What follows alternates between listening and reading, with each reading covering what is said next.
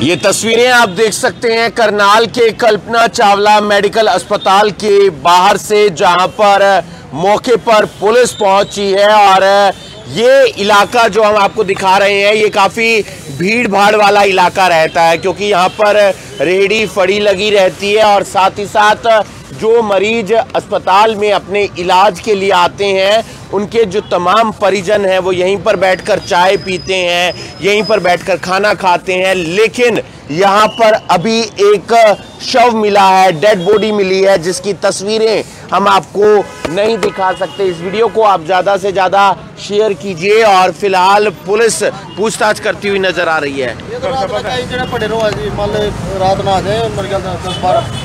शराबी से है सारे एक वो एक अपनी साइड मारा था अच्छा अब ये ऐसी है कोई नाम पता हो इसका घर का पता हो कोई गाँव का नाम पता है कोई बातचीत करी हो इसने हमारी तो कभी बात नहीं हुई यहीं रहता था ये ये यही रात ना पड़े रहो यहीं ये और भी है बात हुआ दिन में मांगा नहीं रात कौन है कौन नहीं जानते तो पता नहीं जानते नहीं अच्छा हाँ जी। शक्ल देखी है?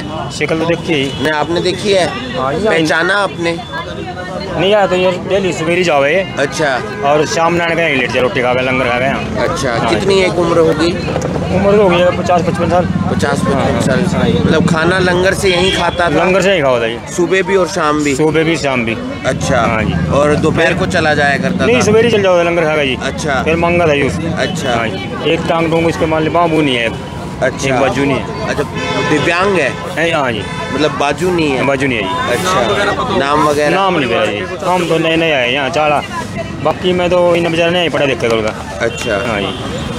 कुछ और रेडी बड़ी वाले भी हैं, उनसे भी हम बातचीत करने का प्रयास करेंगे। लेकिन जैसे ही इस बात की जानकारी मिलती है कि यहाँ पर शव है तो आप देख सकते हैं, तमाम लोग यहाँ पर पहुँच जाते हैं। एक सनसनी सी फैल जाती है और कल्पना चावला मेडिकल अस्पताल जो है, उसके बाहर की हम आपको ये तस्वीरें दिखा रहे हैं। तमाम रेहड़ियाँ यहाँ पर लगती हैं तमाम फड़ियाँ यहाँ पर लगती हैं और तमाम जो परिजन हैं, जिनके मरीज़ इलाज के लिए आते हैं, कल्पना चावला मेडिकल अस्पताल में, उनके तमाम परिजन यहीं पर बैठकर चाय पीते हैं, यहीं पर बैठकर खाना खाते हैं। एक व्यक्ति की तरफ़ से बताया गया कि जिस व्यक्ति का यहाँ पर शव है, उसका नाम अता पता तो नहीं मालूम है, लेकिन वो दिव्यांग है, एक हाथ उनका नहीं है और सुबह यहीं पर लंगर खाया करते थे, उसके बाद चले जाया करते थे, उसके बाद शाम को फिर आया करते थे और उसके बाद लंगर खाकर फिर चला, चले जाया करते थे। पुलिस मौके पर है, डायल 112 की टीम मौके पर है उनसे हम बातचीत करने का प्रयास करेंगे और जो यहाँ पर सफ़ाई कर्मचारी हैं उनसे भी हम जानेंगे कि कौन है। सरकारी नंबर है कोई? मालूम है मालूम है कौन है नहीं जी। कब आपने देखा इसको? आज ही देखा मैंने तो इसको। आज ही देखा है। वैसे रोटी पानी खा के ही पड़े थे एक घंटा पहले तो ठीक थे। एक घंटा पहले ठीक थे? अच्छा यही यही वाले व्यक्ति हाँ, यहाँ से पानी लेके पिया है उसके बाद ये बताने लगे अच्छा। माम उधर से आए। भाई अच्छा देहात हो गई तो तकरीबन एक डेढ़ घंटा पहले ये व्यक्ति ठीक थे ऐसी जानकारी जो आसपास के तमाम सफ़ाई कर्मचारी हैं उनकी तरफ़ से बताया जा रहा है और जानने का प्रयास करेंगे और रेडी फड़ी वालों का क्या कुछ कहना है?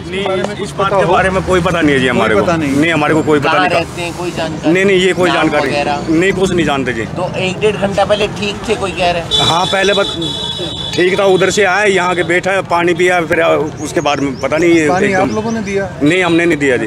पता नहीं कहाँ से लेके आए। तो रोज़ाना यहीं खाना वगैरह खाते हैं? हाँ शाम के टाइम यही खाते हैं जी और सुबह अपने यहाँ से चले जाते हैं। खाना वगैरह हाँ खा खू के चले जाते हैं। हाँ। जी हाँ। दिव्यांग है एक हाथ है। हाँ एक हाथ नहीं एक पैर पैर तो इसके बेकार है वो भी।